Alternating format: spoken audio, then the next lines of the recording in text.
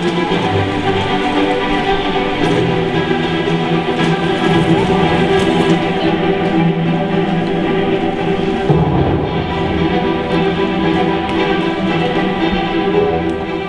love inline skating because I get to go fast. Um, I can do things that people just think, what is that?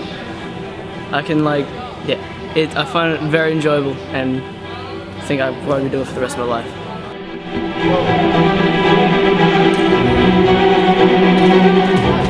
Do you know about the state spec? I mean, have you ever seen a state spec before? Never. So this is like my first time even knowing about it. Do you have any idea what it's like on the performance? No.